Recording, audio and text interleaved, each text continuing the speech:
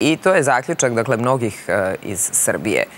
I potpuno je jasno e, da Kurti želi progon e, Srba. Obratit ću se javnosti u roku od 48 sati. To je rekao predsednik Vučić posle sastanka sa Miroslavom Lajčakom i Kristoferom Hilom u Beogradu.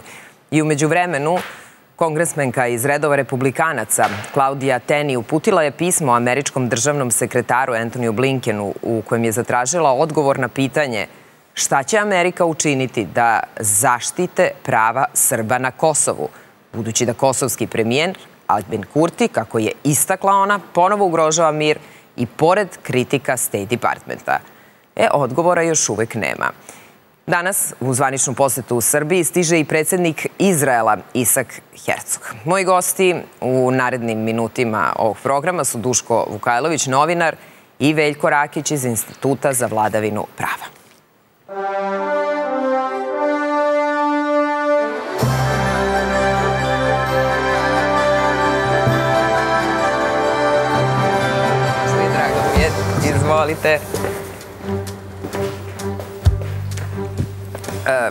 dakle, 13 dana jednog stvarno neće biti oštro, ako kažemo, terora Srba na severu Kosova i Metohije. I kada, kada kažemo uh, teror, to, to, se stvarno, to stvarno deluje kao da se niko više ni s, e, sa Kurtijem ne dogovara ili do njega uopšte više ne interesuje komu šta kaže. Jel vi imate taj utisak ili neki drugi?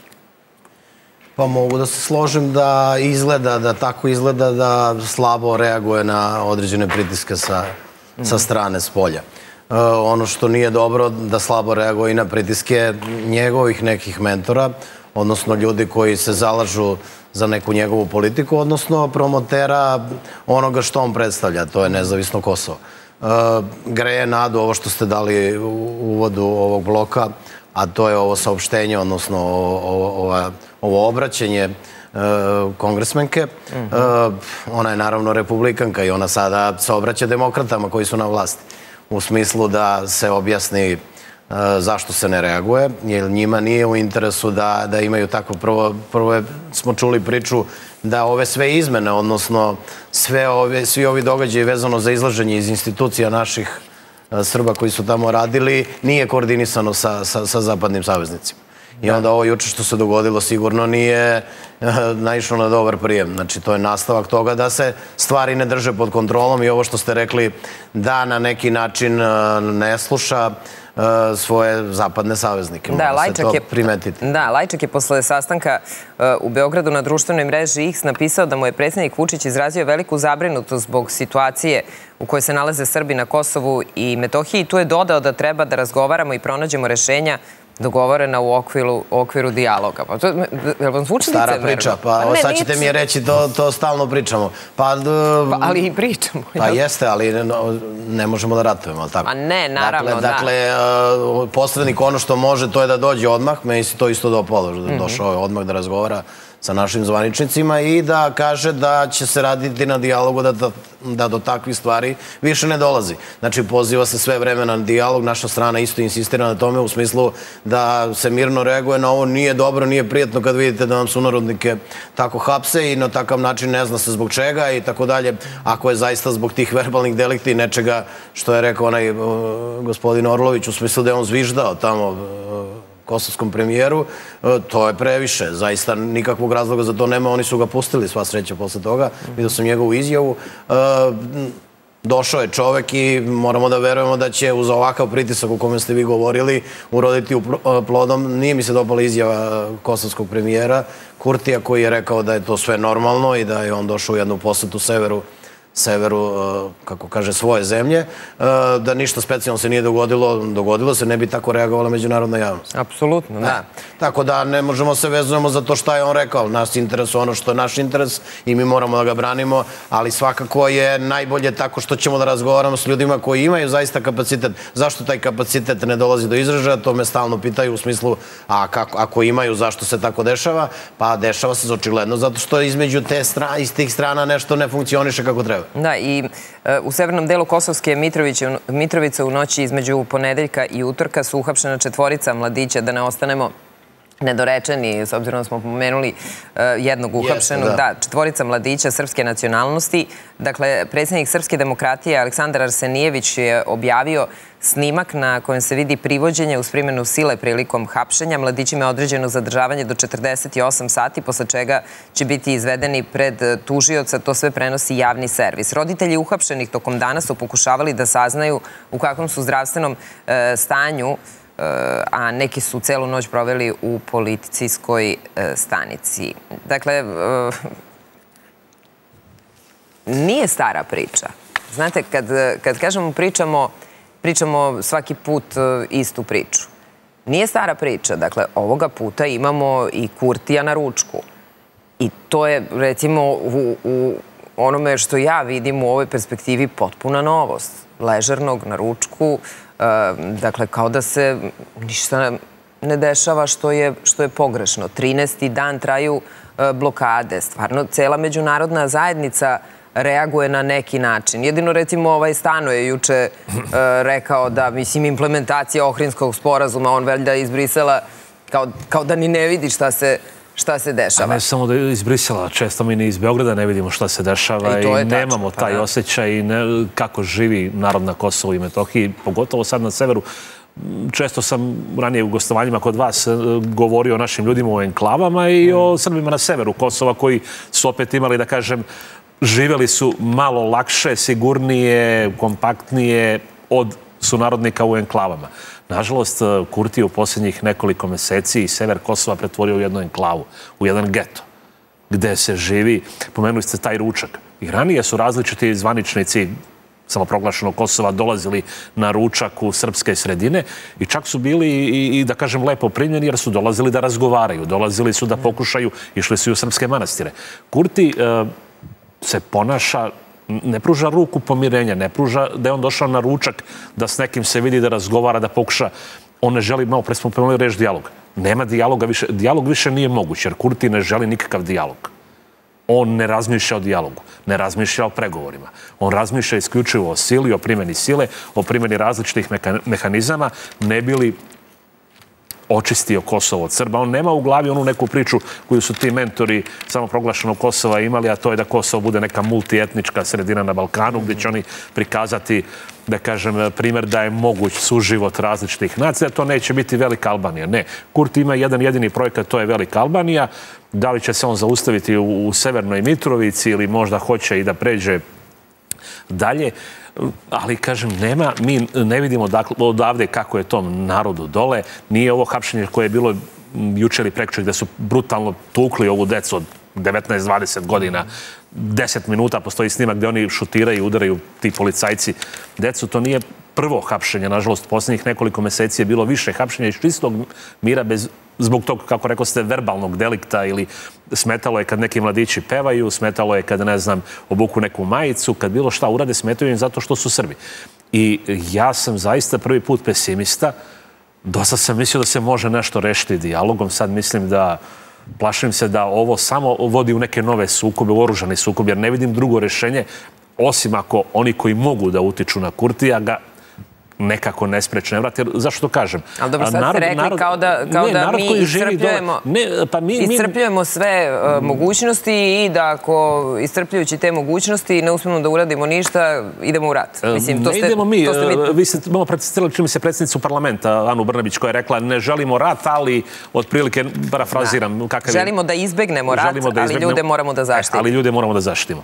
Uh, ja sam sasvim sigurno da država Srbija neće ulaziti u rat. I predsjednik je najavio da će u narednih juče rekao 72 sata, znači to je sad Pa zato sam ja rekla 48, 40 da. sati da izaće i on je najavio opet diplomatske aktivnosti. Srbija zaista jeste dijalog i Srbija nema drugog uh, nema pametnije, racionalnije, mudrije odluke od razgovora i dijaloga, jer nikom ne odgovara rat. Ali šta je problem? Uh, ljudi koji žive dole, jednostavno ne mogu da trpe. Mi smo imali onaj slučaj Banjska koji je bio isprovociran. Ljudi su bili uvučeni u nešto što nije trebalo da budu uvučeni. Ali sad, kako da roditelji, recimo, ove dece trpe da im neko tuče decu? Imaju dve alternative. Ili da spakuju kofere i da se sele za, ne znam, Jagodinu, Kragujevac, Smederevo, Beograd, ili da probaju da se odupru teroru. I to, ako, kažem, ne bude diplomatskog pritiska onih koji mogu da to spreče. Mi moramo da se uzdamo i dalje u to i da vodimo diplomatsku borbu, ali kažem, danas biti Srbin na Kosovu je veoma, veoma teško, pogotovo na severu Kosova. Da. I šta se radi? Vi ste juče vidjeli, ne znam, pomenuli ste taj ručak. Kurti juče otišao u Leposavić da položi kamen temeljac za izgradnju kuće nekog Albanca koji tu nikad nije živeo, kao grade se prve dve kuće, pa gradit ćemo još 200. Kakva je to poruka? Pa Idemo kakva? u čistu srpsku sredinu, gradimo 200 kuća Albancima koji se tu naseljavaju. Zašto se tu naseljavaju? Mm -hmm. S kojim ciljem? To treba da... I, i kako se osjećaju Srbi tu? Uh, Severna Mitrovica, centar Severne Mitrovice, koji je kao bio neki bastion odbrane Srba na severu, se polako albanizuje kroz privatizaciju i kroz institucije, ali sad su oni preuzeli, recimo, da ne znam da li on ručao u tom restoranu ne, nekadašnji Dolče Vita koji je bio, da kažem, simbol okupljanja Srba, to je sad albanski kafić u centru Mitrovice, jer su ga preuzeli. Pa su, ne znam, zatvorili poštu, otvorili poštu Kosova iz koje ne možete poslati pismo u Beograd. Zatvaraju sve. Ono što je meni bilo strašno i eto, na to niko nije reagovao. Isto je prošla malo nezapažena vest. A, oni su izbacili iz prostorija, oni kad kažem oni, mislim na Kurtijevu policiju ili već te a, privremene vlasti u Prištini, udruženje koje se zove, mislim da zove Podržime. U Leposaviću koje okuplja oko 100 porodica koje roditelja i dece sa kako se to kaže, posebnim potrebama, mm -hmm. to nisu s posebnim potrebama, ali dece koja, koja su, da kažem, Dobro, imaju smetnje u razvoju. razvoju da. da. Znači, uh, udruženje koje eto, okuplja ta, tu decu i njihove roditelje je moralo da napusti svoje prostorije u, u, u opštinskoj zgradi u Leposaviću zato što je neko odlučio da njima tu više nije mesto. Dobro, a šta su naše... I da, I da je neko izbacio, proste, da. uh, takvo jedno udruženje, bilo gde na Balkanu, bilo gde u Evropi, bilo gde u svetu, zamislite koliko je bilo reakcija. E, na to nije reagovao niko iz Beograda. Bilo je reagovanje gospodina Arlova iz Banja Luke, to je onaj poznati privrednik koji inače finansira decu s Kosova, vodi ih na letovanja, radio je taj odbor Banja Lučki, povezuje Republiku Srpsku i, da kažem, decu na, na Kosovu, ali ja nisam možda sam propustio, nisam vidio da je bilo koje udruženje za zaštitu i ljudskih da prava da i dece i svega i ja, da. reagovalo na recimo taj slučaj. Da, nismo I, I takvih je slučajeva svaki dan mnogo. Tako da kažem, ljudi koji žive dole zaista ne znam, ne znam kako će se izboriti sa svim.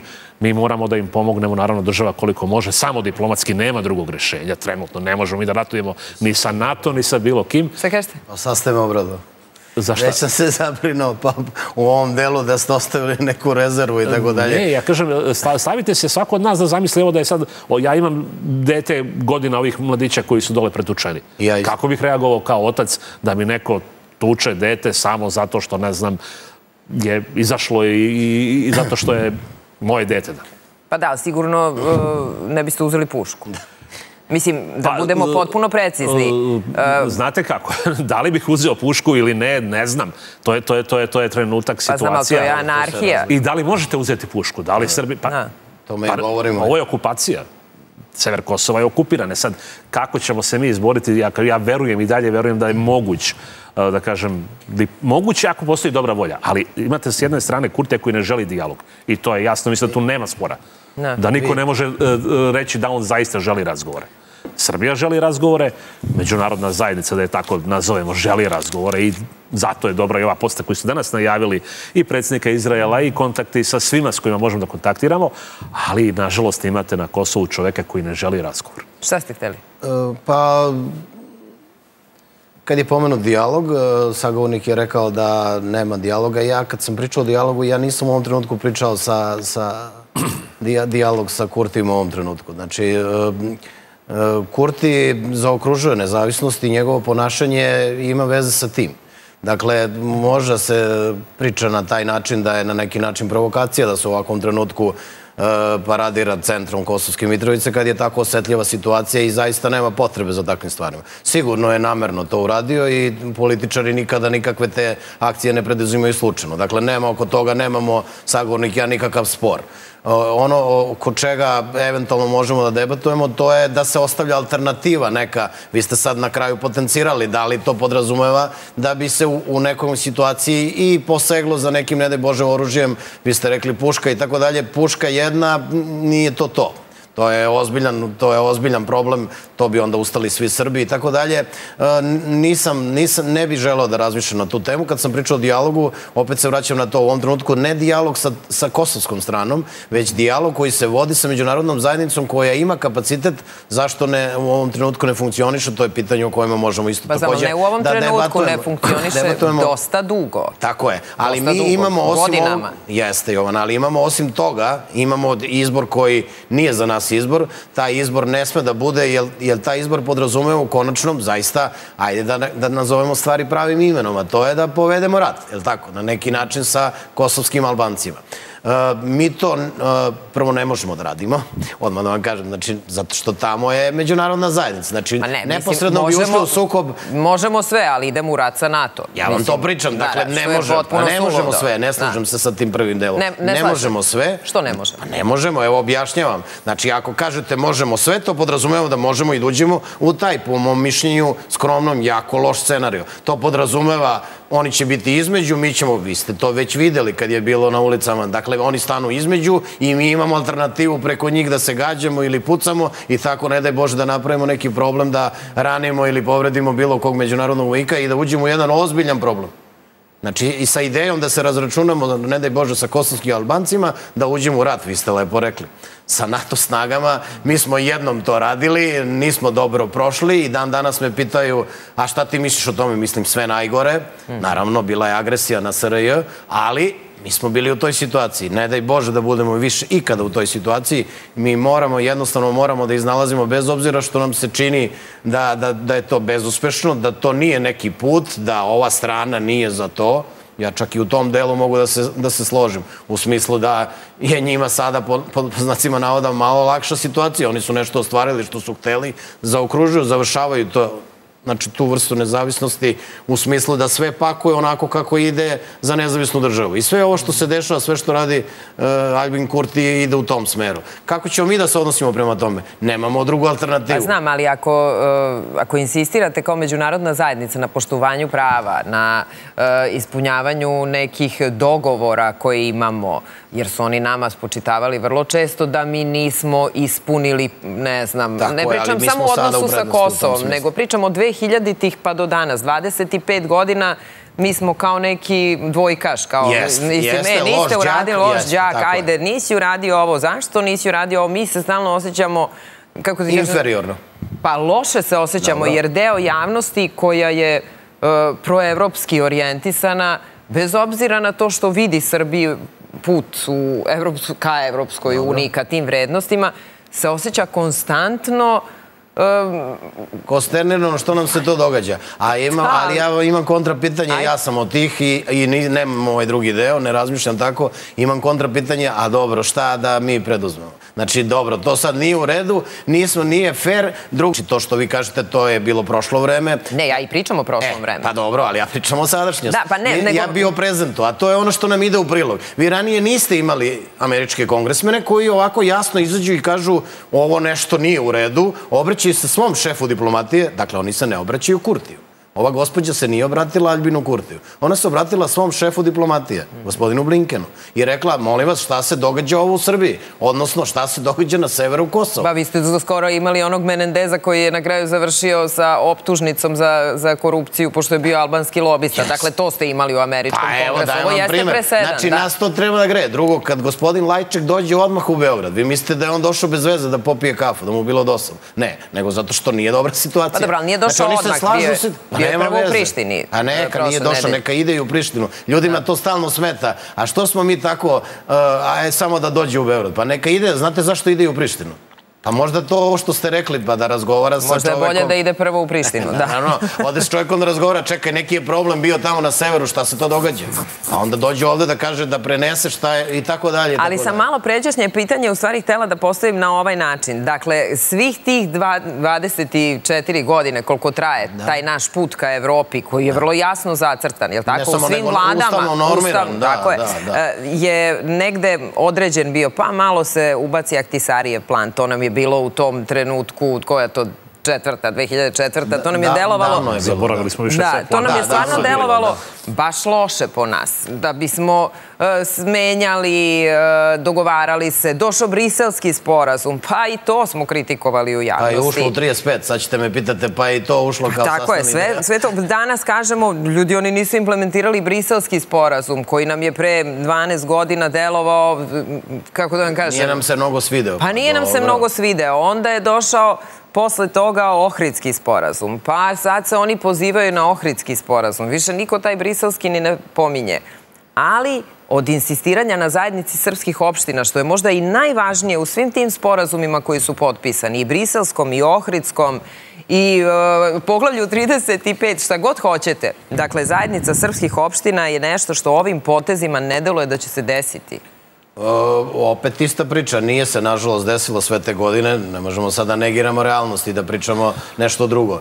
Da li je dobro što se nije desilo? Naravno da nije dobro. Neću nikada dozvolim da mi neko kaže tebi je to u redu. Ne, nije ništa u redu. Nije dobro. Insistira se na uh, pritis... Znači, međunarodna zajednica sve vreme, nećemo grešimo u dušu. Sve vreme potencira i govori i sad će neko reći, ma džabe mi što potencira, to se nije desilo. Ma ne, dobro, pa važno je da, po... dobro, važno je da se potencira, znači, naravno. Oni sve vreme potenciraju i nikada niste čuli da je neko odustao od toga i rekao ovo više zaboravljamo od kosovske strane, ne tražimo. Naprotiv, sve vreme se, ako, ako, ako ćemo da stavimo ruku na srce, da budemo iskreni, insistira na tome, uh, stoji argument da se nije rešilo, stoji argument da to predugo traje, ali nama ništa drugo ne preostaje nego da budemo trpeljivi, strpljivi i da uporno insistiramo na ono što je potpisano i što svi međunarodni faktori garantuju. Dakle, mi nismo otešli tamo na livadu i potpisali nešto, nego smo potpisali pred međunarodnim akterima koji su garanti tog sporazuma. Uh, u jednom trenutku jedan od mojih argumenta da, da verujem da će to biti je bio taj niko nije verovao za dečane, je li tako? Niko. Kad god smo bili u emisijama, bilo je ma kakvi, neće oni to vrate nikad, to će biti kosovski, š, šiptarski, čak da kažem albanski, bilo je tih ideja manastiri, ja nisam mogu da verujem, znači ljudi su svašta pričali, je li tako? Da će oni to da uzmu, da je to na njihovoj teritoriji, da to pripada kosovskoj baštini, je li tako dalje? I na kraju šta se desilo? Pritisak međunarodne javnosti urodio plodom, to je relativno skoro bilo. I vi ste imali vest na svim vašim kajronima, a to je Visoki Dečani i Pećka Patrijaršija i sve naše svetinje na Kosovu si, su s pravom vraćene pod jurisdikciju Srpske pravoslavne crkve, odnosno da su to srpska baština na Kosovu i Metohiji. I to je ono što mene greje, kad je to tako teško bilo, a nije bilo jednostavno, verujte ni to, da se realizuje. Budući da je njima verovatno bilo zanimljivo da, da, da prekroje istoriju i da i tako dalje i tako dalje. A što im jeste bio plan i pisalo se pa, o tome. Da, ali na kraju nije tako bilo. Neće se odustati od toga. Pa se slažete sa ovim delom, bar za, za, za kosovske manastire? Ne, ne, slažem se, ja ne kažem, ne verujem da će odustati, jer Kosovo, sjetimo se recimo odnos prema manastirima na Kosovu pre 20 godina, Albanaca i odnos koji Šta, sad imaju. Šta, da će odustati da traže to ponovno? Da traže to kao... Nema šanse, pa, odmah da vam kažem kao pravnik ne dolazi u obzir. To je završena priča, nema šta više da tražiš. To, znači, nemojte da imate dilemu. Uopšte. Ajte da. A ne, ne, pa ja vam kažem ozbiljno, to je završena priča. A, povratak imovine je nepovratan proces koji se desio, hvala Bogu, i koji je završen. Da traže kosovski Albanci, da traže nazad, da kažu da su to njihove manac, da traže nazad, to je isključeno. Ne mogu da traže nazad, jer nikad nije bilo njihovo, ali da polažu da pravo na to. Ne, ne, ne, nema šanse. To vam ozbiljno kažem. Dakle, u, u... Znači, pod jurisdikcijom je Srpske pravoslavne crkve, odnosno dokazano je, a, sam, a da ne pričam da je pod UNESCO-om zaštitom, da je to srpska baština. Znači, ja to uopšte ne razmatram tu, tu, tu teoriju. Da, i ne treba uopšte da sad sebe kao sam mislite šta će da rade. Dovoljno već rade. Dakle, ajde da, Ma ne da, pričamo, da pričamo o ovome što se sad dešava. Dakle, meni interesantno u Informeru je izašla uh, anketa njihovih čitalaca, njihovog E, portala zbog čega međunarodna zajednica ćuti na Kurtijev teror, apropo ove e, priče koju smo pričali. I sad 66% je e, odgovorilo zato što ga prećutno podržava. 30% neka ćuti, Srbija će imati odgovor i 4% niko ne zna šta da radi sa njim. Šta, šta izlačimo kao zaključak iz ove? Istina je negde između sad kad slušam sve, sve pomalo. Ima i ovog zadnjeg. Ima i ovog, da, neko ovo niko ne zna e, šta da radi sa njim. Na da to ste. Da li žele, nije im prioritet, da kažem, da neko želi zaista da se bavi time kao nekim spoljno-političkim prioritetom, možda bi rešio. Kurti sad koristi situaciju i u Ukrajini i uopšte sva, sva dešavanja u svetu gde su oni svetski moćnici, da ih tako nazovemo, bez obzira da li dolaze sa istoka ili zapada, okrenuti ka tome, da on gura tu svoju agendu i da sprovodi. Naravno da ima tu podršku i ne bi mogao da radi bez prećutne saglasnosti, ali ja mislim da tu nisu umešani samo da on što radi Kurti na, danas na Kosovu, sad mi ćemo odmah reći, ovo stoji za njega, ne znam, Englezi, Nemci i to je to. Da, imaju, imaju oni svoje interese, ali ima i ova, da kažem, druga strana. I Rusija ima tu interes da se na Kosovu tinja i da postoji sukob, jer vi god imate negde otvoren sukob, skrećete pažnju sa nekih svojih problema ili svoj uticaj širite na to područje i pokušavate. Tako da svim velikim igračima odgovara nestabilnost na Kosovo i Metohiji, odnosno od ovo što se dešava, osim naravno Srbima i moram da kažem i Albancima. Albancima na Kosovo i Metohiji ne odgovara ovakav život kakav danas žive na Kosovu. I ovo može samo njima da se obije o glavu jednog dana, a i danas, kažem, nije, bez obzira da li, naravno, mnogo teže živjeti danas Srbima na Kosovu, ali nije lako ni Albancima na Kosovu i Metohiji. Pod ovakvom vlaši nemaju perspektivu, nemaju budućnost. Naravno, da li će se nešto menjati, ja kažem, verujem, trenutno sve pokazuje i vraćam se na početak da se ne može razrešiti drugačije nego ratom jer imate jednu stranu koja ne želi dijalog i druga, drugu koja želi. Ali ajde da verujemo ovo da će dijalog da pobedi. Problemi su, da će... Svi problemi su takvi. Dakle, evo, pogledajte situaciju oko litijuma. Dakle, tu nema ljudi koji su na sredini. Recimo, mene je zvao juče jedan moj kolega Slušaj, posle emisije... Ja moram vas da pohvalim, oprostite, odlično, svaki dan imate zanimljive priloge na tu temu da, pa dobro. sa stručnim ljudima gde može da se zaista vidi. Evo, mislim da je danas najavljeno sa neko sa rudarskog fakulteta, ako sam dobro video. Da. A, hvala vam na pohvali. a, htela sam u stvari da ispričam da me juče zvao kolega koji mi je rekao, znaš šta, Evo, ja stvarno, mislim, ja, on je jedan od redkih u Srbiji koji nisu politički kako bih rekla, ne ostrašćeni, nego uopšte politički zainteresovani za politiku. Dakle, postoje e, i takvi ljudi i onda mi je e, rekao, e, pa znaš šta, evo sad kad sam slušao kod tebe i jutros i juče, odnosno u petak vezano za litijum, pa mislim, meni to delo je potpuno, potpuno u redu. Ja kažem, ne znam, pa ja imam sagovornike i gosne, pa ti vidiš šta je tebi u redu, i šta ima tebi uopšte da bude u redu ili ne bude u redu, jer ne znam da smo se, što bi rekao juče jedan profesor, pitali da li će se graditi e, Kostolac, Pančevo i tako dalje i tako dalje. Ali apropo litijuma, dakle to je otvorena e, tema i e, dakle imamo situaciju da je opozicija podnela inicijativu za zabranu rudarenja litijuma. Ana Brnabić je najavila da će predlog da stavi na dnevni red. Oglasilo se i društvo geoloških inženjera. Oni su protiv predloga opozicije o zabrani litijuma i pozvali su građane da slušaju e, struku. I sad u ovoj stvarno jednoj e, sveopštoj kakofoniji, svi sve znaju, svi imaju stav na svaku temu, e, jel se struka čuje? Ovi profesori koji dolaze kod mene su, verujte mi, izuzetno besni ljudi.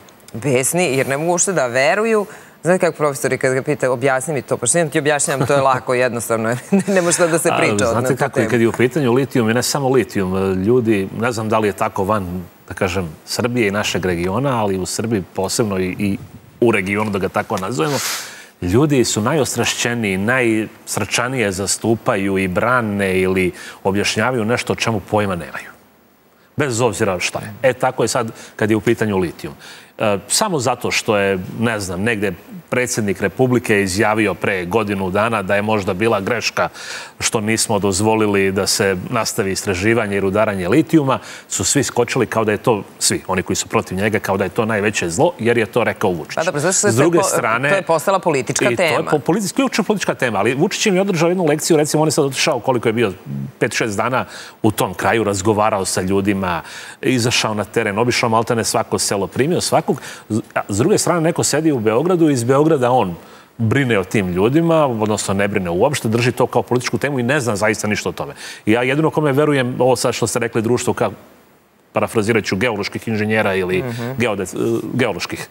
Geoloških da, inženjera. Da. Znači, to su ljudi koji su stručni za to, koji znaju šta su opasnosti, šta su prednosti, koliko, kako se to može najbolji način i najsigurniji način eksploatisati. Srbija je od uvek bila rudarska zemlja i od uvek su se ovdje dobro samo preprimetili. Niko nas nije pitao kad su se otvarale ni termoelektrane, niti su se neki rudnici kopali, niti su se gradile neke fabrike u vreme. Ta smo to svi slavili, govorimo o bivšoj Jugoslaviji, kao veliki uspeh kad napravite, ne znam, viskozu u Loznici, koja realno je više zagađivala nego što će možda ovo zagađivati. Ali ja opet kažem, ne mogu, ja nisam stručan, ne želim da ulazim u to da sad ja nešto žestoko branim ili napadam, ali ajde da saslušamo struku i zato, ono malo prepohvala, zato je dobro da imamo ljude koji su stručni, da pričaju. Često ni oni se sukobljavaju. Svetimo se korone, pa ste imali dva lekara u studiju. Uvek ste imali Kona i Nestorović. Koji su se, jeste, da. ali, uh, znate, Kon je epidemiolog. Nestorović nije epidemiolog. On je pulmolog. Ali priča o nečemu što nema veze sa njegovom, da kažem, mm -hmm na neki način. Ali ga je država izabrala u krizni štab. Država ga je izabrala. Često mi imamo ljude koji uh, samo na osnovu toga što lepo pričaju ili imaju onako harizmatičan nastup, pa im ljudi veruju. Bez obzira da li oni pričaju istinu ili ne i da li se oni razumeju to o čemu pričaju ili se ne razumeju. Mm -hmm. I skupo smo mi platili grešku neki koji nisu verovali u postojanje tog virusa ili neće biti ništa, pa znamo kako, šta, šta nam se sve dešavalo. Da, ali... ali kažem opet oko litijuma, ajde da slušamo struku, ajde da slušamo ljude koji se bave time. Naravno, tu moramo da gledamo i ekonomski deo. Doći ćemo Sada do ekonomskog vraćamo, dela. Ali Čekajte. Ovaj, ovaj, da kažem, deo koji se tiče same struke, to je najbolje da pričaju upravo ti inženjeri, a ne ja koji sam novinar ili neko ko je političar ili ekonomista ili pulmolog ili šta god. Vi kao pravnik, Hajde da, da nam objasnite, dakle, kako uh, s pravne strane treba uopšte da razmišljamo. U smislu.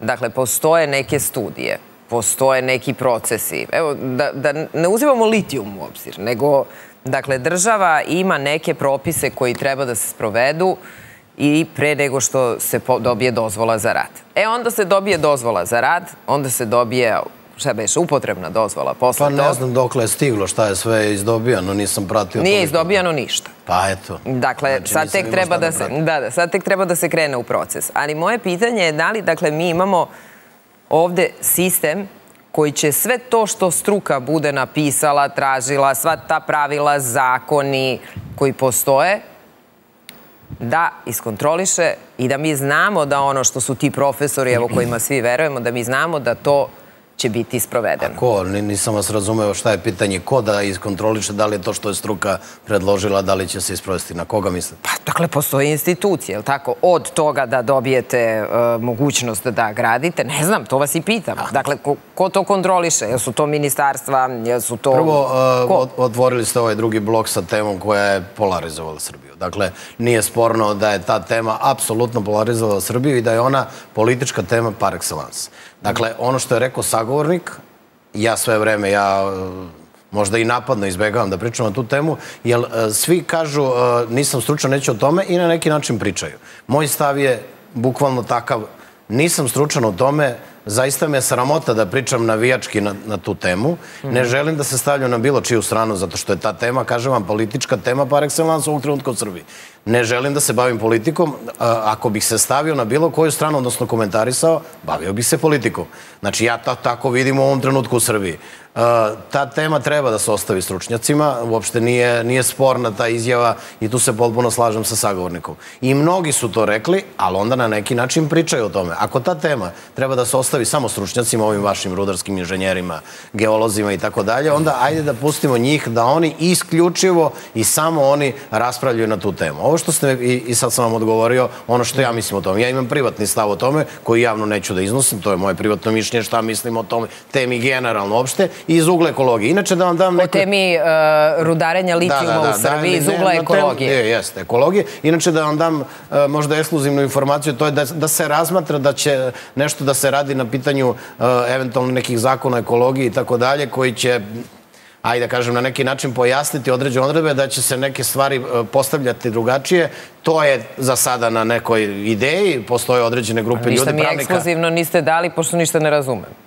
Evo, ponovit ću vam. Dakle, Ajde, po postojećem zakonu o ekologiji ima, Dobro. dolazi se na ideju da se izvrše određene, ne mogu sada najavljam, pošto je sve u fazi nekog razmišljanja u smislu Dobro. šta će da se radi, dokle će da se duboko ide u tim reformama i tako dalje, u smislu nekih, nekih eventualno promena zakona o ekologiji koji će pojasniti više ovu situaciju vezano i s aspekta ekologije. Mi sada pričamo s aspekta politike, to, kažem vam, to je politička tema par excellence u Srbiji danas, zbog toga opozicija predlaže izmenu zakona, vlast predlaže da se ipak ide u to i tako dalje, na kraju se ostavlja struci šta će biti od toga. Ovo što ste me pitali da ne ostanem dužan vezano Ajde. za to da li to treba posle toga se ispoštuje. Naravno, ovo što, uh, ako, se, ako se stane na stanovište i ako pobedi stav struke, bilo koji da je, bez obzira da li je da se ide za to, ide u to, odnosno da se započne sa tim eksploatacijama ili da se ne ide u to, da država kaže, ok, struka je rekla da ne treba da se ide ako se ne bude išlo, ići će se zbog ekoloških razloga, tako, a ne zbog ekonomskih i nekih drugih. Nesporno je ovo što ste započeli, a nismo završili, Sagunih je teo da kaže ekonomskim benefitima. Sigurno će reći da postoje ekonomski benefit. U osnovom to ste videli iz, iz, iz, izjava stranih zvaničnika. U smislu da je to naša šansa da ćemo zaraditi, da će na taj način da se razvije taj deo Srbije, da njima to treba, oni to tak, čak i ne kriju. Znači, imali ste nemačkog kancelara koji je došao i rekao da, to nam treba, vi treba da razmišljate na Napokon temu. imamo nešto što treba Nemcima. Pa eto. Mislim da znači, vam kažem... Tako da, e, to vam je i ja naravno sam, te institucije koje... Ja sam baš srećna zbog toga. Jeste. Oni posle toga kad to bude, znači to su katastri ko to sve izdaje, oni će da. morati da, ako me pitate da li to mora posle kada ovi kaže, apsolutno da. Oni će morati da sprovode svoj deo posla, da, odre, da izdaju određene potrebne dozvole, mm -hmm. a posle toga će da se ide u jedan proces koji podrazumeva jednu, jedan pravni okvir kako će oni to da naprave i tako dalje, koji su vrste ugovora u pitanju, ja to sada ne mogu da vam kažem, jer nisam, nisam učesnik svega toga i bilo bi neozbiljno, neozbiljno da, da, da pričamo tako yes. paušalno, slažem se, ali e, kada svi pričaju o litijumu sad. Pa. Dakle, u redu. I ne bavimo se politikom, ali pričamo. To je tema koja se tiče svih nas. Jer imate s vremenom vreme, izađe vest, ne znam, bit će stvarno strašno to kad krene se kopa litijum. Dakle, mi ćemo svi ovde u Srbiji da pijemo, ne znam, i druge... crnu vodu da. i tako dalje. Ali, s druge strane, kada stvarno pričate, apropo struke, kada pričate sa stručnim ljudima, dio stvari uh, izvedete zaključak da taj Rio Tinto koji je došao ovde da traži bor, da je našao bor, evo, pitam vas ovako kao građana, časkamo sad, ko da, ko da nismo u programu. Da je našao samo bor, ne bi bilo uopšte problema, je li tako? Pa sad ne znam, da vam kažem, hipotetičko je dosta pitanje. Uh, nisu pa šta mislite? Eto, meni, či, meni se čini... izašli sa tim, nego su izašli sa ovim. Uh, to je podelilo javnost. Uh, da, našli su i bor i litijum. Da. Ali, ali zato što je ovo atraktivno, ovo treba, sad ne znamo, sad nismo mi sad, ja vam kažem. Znači, Znamo, ja listi je proces. Ja sam, pa ne, ne, ne, znam, znam, nego vam kažem šta je atraktivnije, zašto je ovo tema, razumete, zašto dođe nemački kancelar? Pa ne da. kaže, treba mi bor, ne treba mi litijum za baterije. Ma ne, meni je super što je došao nemački kancelar, nego mi nije jasno uh, što smo se mi toliko uzbudili i podigli oko ove teme. Kada taj isti nemački kancelar kaže, dakle, nama će biti potrebne vaše baterije, mi uh, Ne, za želimo, baterije naše, vaš litijum. Vaš litijum da. za naše baterije, mi to želimo, ali ćete morati da imate onaj sertifikat koji uh, podrazumeva ceo proces. Ne možete da dobijete taj sertifikat dok se ceo proces ne ispoštuje koji je urađen po zakonima Evropske unije, koji su isti i za Nemačku i za Finsku, pa tako i za i za Srbiju. To je, to je argument u prilogu ove teze da se to radi, razumete? Dakle, imate uh mhm. -huh. A argumente mi... za i protiv. Jedan od argumenta tih ljudi koji su za rudarenje i da, i da se vadi taj litijum uh mhm. -huh Mi dosta i ne znamo o tome, mi stalno nešto pričamo, zato je meni bez veze o tome pričamo, nemam pojma o tome, razumete? I sad me neko pita, čekaj taj litijum i to, znači krajnje je neozbiljno da, ali ajde dobro, sad kad me terate kao da časkamo u kafiću, da. ok, uh, to je problem, zato što ljudi nemaju te informacije i onda čuju, onda se, onda googlaju i tako da, tako, i onda vide da je to tamo negde prouzrokovao problem, da ta firma nije baš sad neka sjajna firma, da ne, ono, otplike imaju nekih za njih, za njih repova i tako tako dalje, po znacima navoda. I zato ljudi reaguju. A zašto reaguju? Pa zato što neće kažu iskreno kao ja, ja o to nemam pojma. Nego Srbi znaju sve, znaju da ko vode košarku, znaju ko će da e, treba sada da bude selektor i tako dalje. Tako i to isto. Pojma nemaju šta je litijum, pazite, to su ljudi hemičari, jel tako, geolozi, eventualno rudarski inženjeri. Ne možemo mi sad sve da znamo, nismo sad mi neki eruditi koji znaju sve živo, razumete? Dobro. I ja se klonim ali glupo toga... da kažemo da ne znamo. Pa ne, nama je to glupo, ali meni verujte... ne znam, evo vidite, meni nije recimo glupo da ja to javno kažem, da stvarno nemam pojma o tome i deplasirano mi je da mi neko sutra kaže... E, evo, super. Što pričaš o tome, a ne znaš ništa. Ne, ne, sve je okej. Okay. Ali privatno mi imate mišljenje. Ja imam privatno mišljenje koje, koje biste izrazili, ne. Uh, koje bi kako da vam kažem, rekli biste mi da niste u programu. Tako je, ja mogu da vam kažem, ali... Pa znači, vi se pravite pametni, je li tako? Ne, Privatno, pametan, nego, nego, vi ne prihvatate moju argumentaciju, a moja ne, argumentacija je broj jedan. Slušaj. Ovo što je rekao sagovnik, a to je nisam kompetentan. Ali privatno jeste, ne, to ne, vas pa, pitam. Saslušajte, pa dobro, ali to može da bude na osnovu nekih emocija i nekih, nekih mojih, nekih navijačkih, nekih uh, za i protiv stavova, a ne bazirano na nekoj, nekoj egzaktnoj, da. razumete... Za i protiv političkih stavova. Tako je, apsolutno, Aha, i, e, pa broj to, dva, i broj da, dva, da, pa ovo dobro. niste mi dali da završim. Dobro, Razlog zašto mogu da vam kažem privatno, a ne ovako javno. Broj jedan, zato što sam nekompetentan za takvu temu, apsolutno, i ja to priznajem, nemam nikakav problem s tim da to priznam. Ka, kamo sreće da se svi bave ovoj državi nečim što znaju i zašto su se školovali, bilo bi fenomenalno. I broj dva, ovo što vam kažem, ja to zaista ozbiljno mislim. Ljudi će reći samo je polarizovana Srbija. Ne, ja ću reći otvoreno. Politički, ovo je otvorena politička tema, politička tema par excellence, po, po tom sistemu je ona polarizovana. Ja na takav način ako bi vam javno rekao svoj stav, ne želim da se svrstavam na bilo čiju stranu, zato što moja agenda nije da se bavim politikom. Razumete, kad budem kandidat za nešto, ako mi to u životu ikad pada na pamet, ja ću vam reći moj politički stav. Sada me to pitate, meni to liči na politički stav, ja ne želim da iznosim politički stav. Eto, sad sam vam objasnio. Zašto neću da vam kažem ono što mogu da vam kažem privatno. Ali to privatno je, verujte, vi ćete reći, a kako to znaš privatno?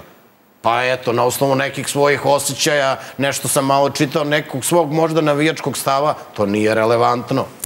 Ću da, da, da tako ali izlazim do, sa time. Da, da, ali dovoljno recimo da na kafi polemišete sa Možemo, nekom, nekim ko je vaš politički ali, protivnik. Ali pazite, javna reč vas obavezuje. Slažem se, znači, nije to da. isto. Ako vi kao novinar poznati i vrsni bavite se time, znate da to nije isto. Ne možete da, da kažete, nije, pa, pa što možeš da mi kažeš u kafiću, ne možeš ovde.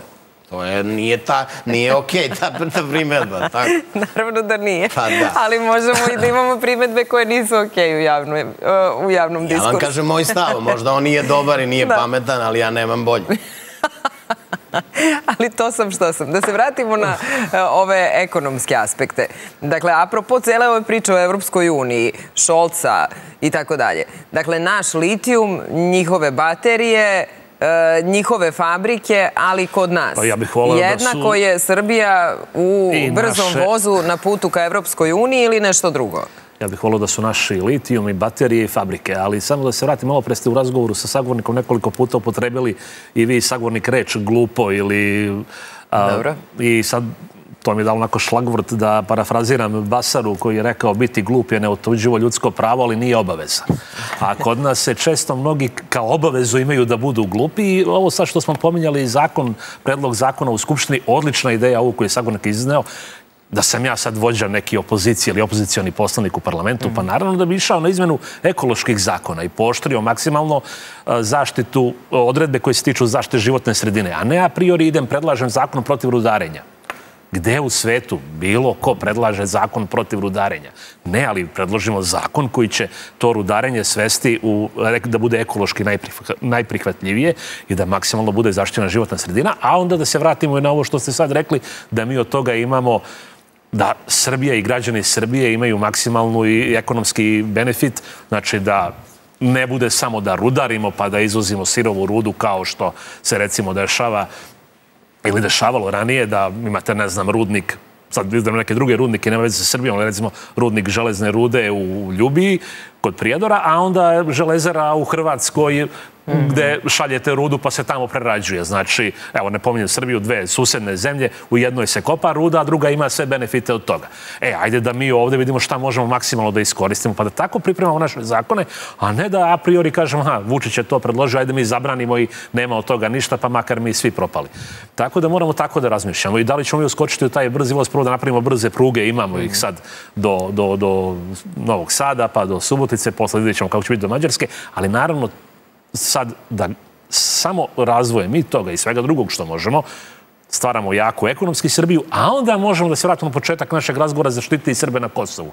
Jer ekonomski jaka Srbija će biti i politički, i vojno i svakako jaka. E, sad se slažem s vama. Apsolutno, pa to je jedini...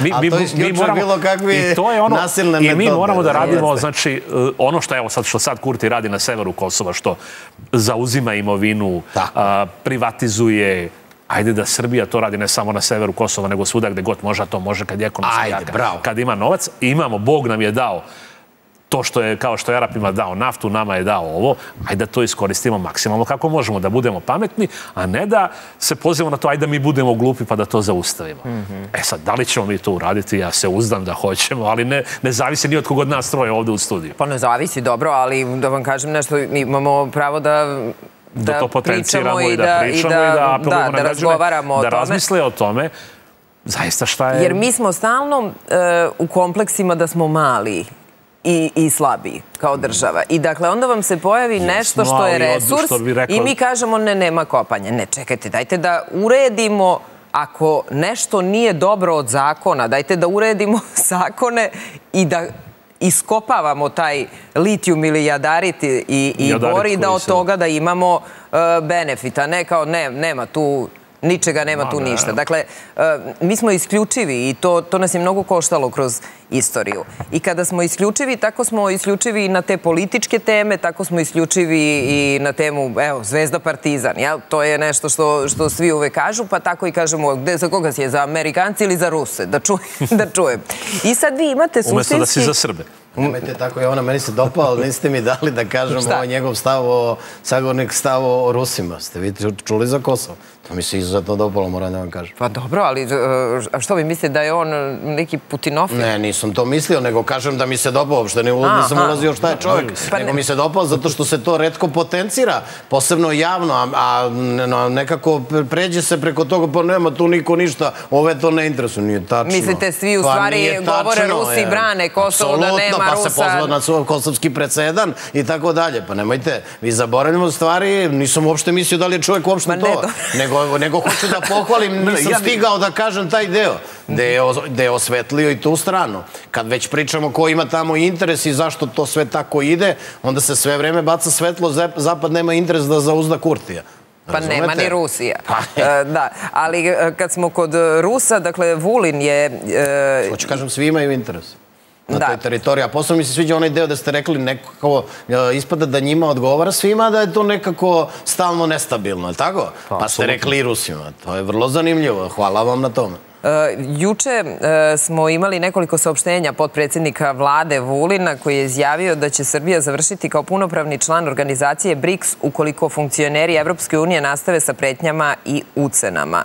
E, upitao se zašto je Ohridski sporazum obavezujući, a briselski nije i rekao da Srbija nikad neće priznati nezavisnost Kosova u zamenu za nastavak puta ka Evropskoj uniji. Pa ja sad, iako nisam apsolutno Putinofil, niti... Nisam uopšte, niti to je ovaj, ali mislim, da, da, ali, da sam ja pomislio za vas, ovde, uopšte nije. A čak ne delim ni stavove e, gospodina Vulina, podpredsjednika vlade, ali... Ali ovo što sam ovde, ja izvukla, ali ovo što ste sad pročitali... Ovo se dopada. Ne, ne dopada mi se, Nego? ali se slažem da je to apsolutno tačno. Ako Evropska unija nastavi da ima takav odnos prema Srbiji, Srbija će završiti jednog dalekog dana na toj strani gde ne pripada ni kulturološki, ni ekonomski, ni geografski, nikako. Ne, nemojte, pustite. E, pa, ako A sami ste rekli, to što ste sad rekli isključuje tu odluku. Ne, Razumete? E, niste me možda dobro čuli. Yes, ako Evropska unija nastavi da ima odnos prema Srbiji kakav ima i ako Zapad ima takav, oni vas, bukvalno kada vas neko tera od sebe, vi ćete završiti na nekoj drugoj strani, da. iako pripadate ovoj strani i želite da budete na toj strani.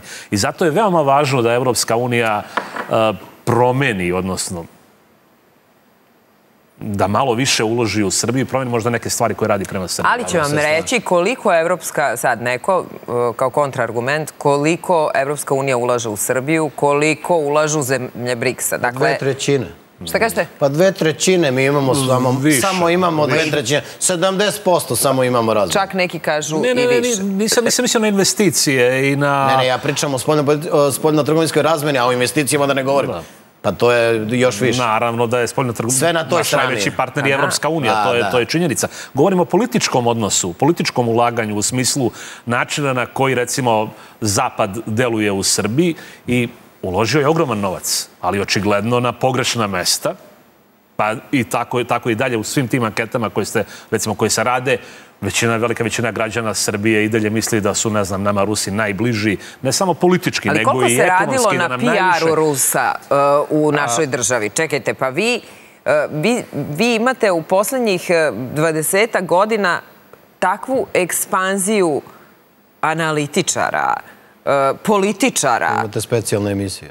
Ma, dobro, to... Se vode svaki dan. Imate i specijalne televizije koje nisu proruske nego antiruske. Znači imate vi, u Srbiji su jedni i drugi ulagali mnogo novca. Koje su to antiruske ja televizije? A, mislite na ove opozicije? Pa dobro, ali oni, kako da vam kažem, oni ne promovišu Evropu i Ameriku, oni promovišu pa opoziciju. Oni promovišu opoziciju, pa čak i kad opozicija ima neke ekstremne antizapadne stavove, oni su dobro došli kod njih, što je suludo. E, hoću da kažem da su neki sa zapada možda ulagali novac u pogrešne projekte i u pogrešne ljude. Ali ne treba mi da gledamo ni na zapad, ni na istok. Ne trebaju nama ni ruske, ni američke televizije, ni luksemburške, ni hrvatske, ni slovenačke, ni bilo koje. Trebaju nam srpske televizije, srpske novine, srpski mediji i da gledamo, da se držimo naših interesa. Sa svima lepo da popričamo svakog, kao što vi ugostite svakog ovde i jedne i druge i treće, ali nažalost neki možda imaju, to ste primetili koliko je napravljeno i analitičara, ne samo analitičara, i političara Pominjali smo, pominjali smo političare, pa ne samo političare, neke bivše funkcionere službi bezbednosti koji su u svojim kancelarijama držali fotografije ruskog predsjednika usred Beograda na zidu, umesto srpskog predsjednika. Tako da postoji mnogo toga još od, od 48. i od ranije mm -hmm. kod nas. Ali zato mi moramo da, da, da, da, da kažem, ne okrećemo se ni na jednu stranu, da promovišemo samo ono što je naš interes i da sarađujemo sa svima. I sad da se vratimo ovo na Vulina, kažem, Vulin jeste tu u pravu, jer ako se nastavi ovako, Srbija, Srbija ode na potpuno pogrešnu stranu. Jel uh, ste vi zadovoljni kada vidite da, dakle, s jedne strane juče uh, je recimo predsjednik Vučić bio sa Lajčakom, sa ambasadorom Hilom, danas dolazi u posetu predsjednik Izraela, a za to vreme podpredsjednik vlade je na sastanku zemalja, kako se to, pra, e, e, kako se to precizno zove. Dakle, sad ću vam reći, sastanak visokih predstavnika za bezbednost BRICS-a i partnerskih zemalja. I šta je pitanje? Da li se slažem sa jednim i drugim? Ne, ne da li se slažete, nego da li ste zadovoljni Zašto kad... sam ja? Ne, i to vas ne pitam. nego vas pitam da li ste zadovoljni kad vidite da možemo i sa jednima i sa drugima. Slušajte. Pa moramo i se jednim i drugim. Slušajte, ja... dakle, vi, vi mene pitate nešto, a znate moj stav. Ja ću vam reći, evo, ja ću vam reći o, neodređeno. Reći ću vam, zadovoljan sam da pričamo sa svima. Može tako? Ovaj, a pre toga ću se osvrnuti na ovo što je rekao sagovornik. Dakle, pa, pa da, pitate me, a znate što ću vam odgovoriti. Ok. Uh, pa zato što... Ja, moje, mišljenje, moje mišljenje koje zastupam sve vreme, e sad ovo javno, ovo za razliku od ovoga što, što ne, ne, ne saopštavam, ovo ću vam saopštiti. Koje nije uopšte jeste sporno jeste sledeće. Da mi ne možemo da odvojimo ovaj ekonomski deo od političkog dela. Vi ste imali malo pre uh, priču o tome kako nije sporno, čak ste i vi rekli koliko mi taj ekonomski deo baštinimo s te strane. E sad bi mi da odvojimo taj politički deo da ne baštinimo i taj deo. To ne može. Znači, to morate da razumete da to ne može. To ide ruku pod ruku sa tim stavom. Opet se vraćam na to, bez obzira koje kakve stavove zastupa kao legalista, znači e, kao što poštojem Ustav Srbije vezano za status Kosova, dok se ne promeni e, u preambuli Kosovo je deo Srbije, tako isto poštojem, podjednako poštojem e, normiranost ustavno, a, da to je, a to je sledeće da mi težimo evropskim vrednostima. Više puta ponovljeno od strane svih državnih zvaničnika zvanična stav vlade Republike Srbije, dok se ne promeni, on je zvaničan. Za mene je on zakon. A to je, mi smo na evropskom putu. Šta to podrazumeva?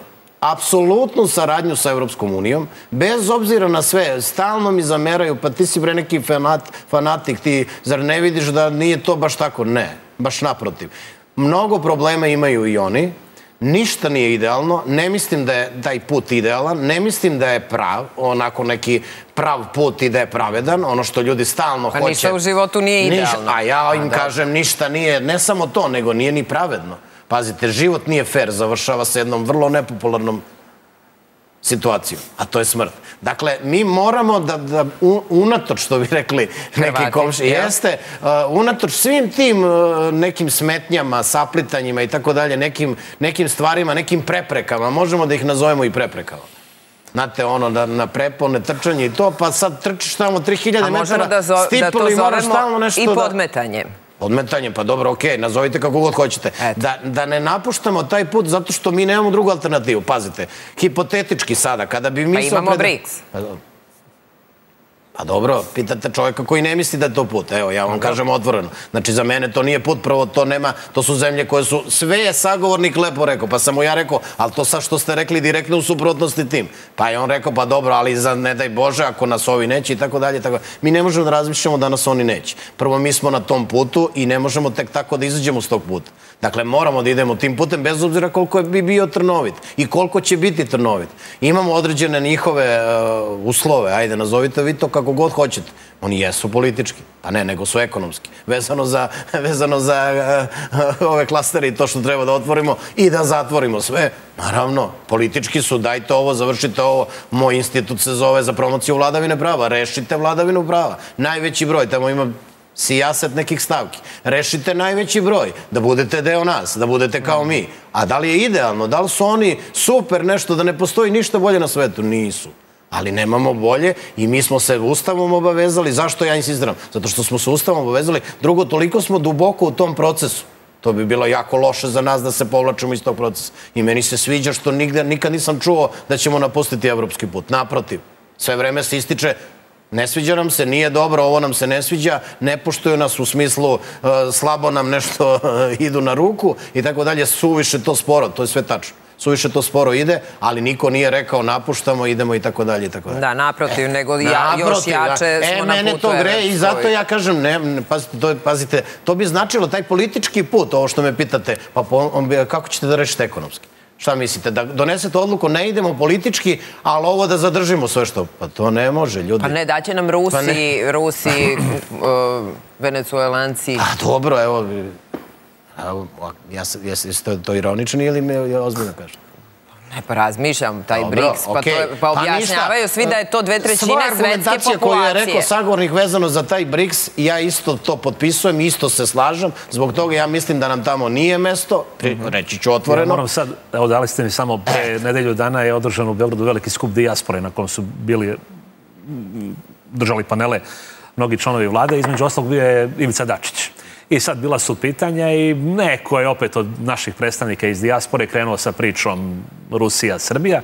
I onda je potpredsjednik Dačić kao, dobro ljudi, a što vi onda živite u tom Minhenu i Beču, što niste otišli u Moskvu da živite? Evo, mislim to da je to najbolji odgovor. Dačić, socijalista. I mislim da je to najbolji odgovor. Svima koji su koji vide Srbiju na nekom drugom putu. Pa ne, ma ne postoji drugi put. Ajte da ne lažemo ljude. Znači, Jovana, stvarno, meni je to više smešno da kao postoji neka alternativa. Ajde da im kažemo iskreno. Ne postoji alternativa zato što smo mi, ne zato što smo mi sad ne znam šta pupčanom vrpcom vezani, nego zato što smo mi duboko na tom putu. Pazite, to bi izazvalo tektonske poremeće, da sad mi donesemo odluku, bataljujemo to sve, ali ovi svi dostanu ovde i svi investitori dostanu i sve te pare dostanu i da 70% i dalje mi s vama imamo razmenu. A vi to stvarno mislite da je to realno?